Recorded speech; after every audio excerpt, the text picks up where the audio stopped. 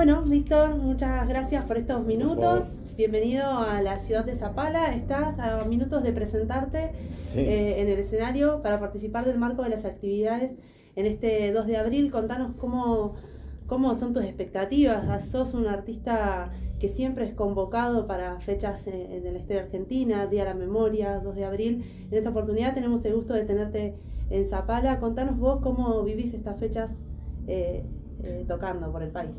Bueno, son fechas muy sensibles y obviamente que en mis canciones, bueno, y en mi propia vida, en todas mis acciones, siempre han tenido que ver estas fechas no solo en el caso de Malvinas, sino también en el Día de los Derechos Humanos, en el, en el Día de las Democracias, en los derechos humanos, sencillamente porque creo que los ciudadanos tenemos que tener conciencia de que pasar por esta vida implica también una responsabilidad. Y esa responsabilidad quiere decir, por lo menos, ser solidario con algunas cuestiones. Y en, otros casos también, ¿no? Militar por esas cuestiones. Bien, eh, tengo una consulta, tiene que ver con, con la música actual. Eh, algunos músicos hablan ¿no? de que estos nuevos géneros que vienen, como el trap y las músicas urbanas, ¿no? En sus mensajes, eh, son un poco recios quizá a estos nuevos movimientos musicales. Vos eh, te has abierto, creo yo, un poco, ¿no? Con la participación con Trueno en diferentes canciones. ¿Cómo lo ves vos a las nuevas generaciones en esto, ¿no? Pensando una canción latinoamericana, sos un referente de, la trova, de la poesía latinoamericana, de la canción. ¿Cómo ves estos nuevos movimientos musicales? A mí me parece que son referenciales. No hay ninguna cosa que sea emergente de la cultura popular que no sea referencial a las expectativas y a las propuestas eh, de, esa, eh, de, esas, de ese sector. Eh, mi querido Cita Rosa decía que la cultura nace desde el pie. El pie siempre es el pueblo. Entonces, la existencia de un sonido nuevo, de un sonido original y distinto, deviene justamente de esa necesidad de la expresión la de mostrarse, la de ser original, la de decir quién soy. Y creo que los chicos lo hacen a través de esa, de esa propuesta. Eh, fíjate vos, si uno pensara que solamente es imitativo, creería que el reggaetón, que el rap o que el trap eh, vienen desde una acción imitativa por lo que pasó con esa música en, en el sector de, de Estados Unidos, en algunos sectores sociales de Estados Unidos y remitámonos al rock, porque el rock dice que es el rock nacional, porque evidentemente tiene una referencia internacional, una referencia distinta, y nadie se queja de eso. O sea, todo lo contrario, bienvenido sea cuando uno enriquece su propia cultura con el aporte de otra cultura. A mí me parece extraordinario.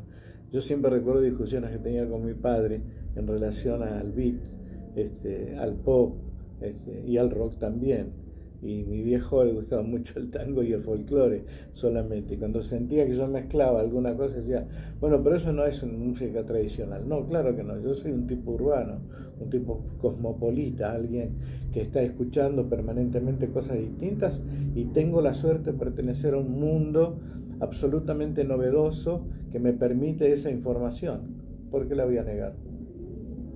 Así que estoy absolutamente de acuerdo. Un día hablando con Silvio Rodríguez también sobre estos temas este, y también frente a la queja de algunos músicos en referencia al reggaetón, Silvio dijo algo extraordinario. No, no se preocupen, de todo esto algo va a quedar, algo bueno va a salir. Y fíjate, Tierra Santa, yo sé Tierra Santa contra, tuvo un éxito tremendo a nivel mundial, este, y lo que está diciendo la canción es extraordinario, es la defensa de la existencia de los pueblos originarios. O sea, qué cosa más noble, ¿no? Y está en consonancia con tu mensaje, ¿no? En, tus canciones. Y por otra parte está en, en consonancia con mis mensajes. Y voy a agregar algo. Este, yo nunca lo digo, pero en este caso creo que tengo la obligación de hacerlo. El primer productor exitoso de los éxitos de Duque fue mi hijo, mi hijo Tayel. Él es Tayu, es el que firma las, las canciones. El, según el productor exitoso que tuvo en sus éxitos más grandes Trueno es, mi hijo Tayel. Y actualmente Milo J con la canción Rara vez es una canción compuesta con mi hijo Tayel. Así que bueno, imagínate si yo tengo cercanía con ese, con ese género. Eh, quizá no sea algo que me guste permanentemente escuchar, prefiero otro tipo de música, pero me parece bien que exista, como me pareció muy bien que existe el nuevo cancionero argentino. Antes eran solamente los fronterizos y los chalchaleros, y de golpe apareció Armando Tejada Gómez, este Hamlet Lima Quintana, la negra Mercedes Sosa, los, eh, los andariegos, este, los guancaguas, bueno, yo mismo, claro como Sí, no puedo ser autorreferencial, pero digo, hubo toda una cosa absolutamente nueva este, que partió, pero como base de algo, ¿no? Bien, bueno, un gusto poder charlar con vos unos minutitos, yo te, te agradezco y bueno, por ahí un mensajito para la, para la gente, porque seguramente vamos a estar subiendo esta, esta nota. Eh, y una última pregunta antes, bueno, me voy a ir con esta pregunta. ¿Queda algo para Víctor Heredia todavía después de tanta trayectoria, tantos escenarios compartidos, tantas canciones? ¿Te queda algo pendiente eh, por escribir, por decir, por cantar? La vida, claro. Yo no me hubiera preguntado esto que vos me estás preguntando hace 60 años atrás. Este, sencillamente porque tenía la vida por delante. Y ahora que todavía tengo la vida por delante, tampoco me lo pregunto, porque siento que falta un montón de cosas. O sea, me faltan un montón de cosas. Seguir enriqueciéndome, dando lo mejor que tengo y seguir siendo mensajero. Yo no puedo dar mensajes. La que da mensajes es la gente, siempre.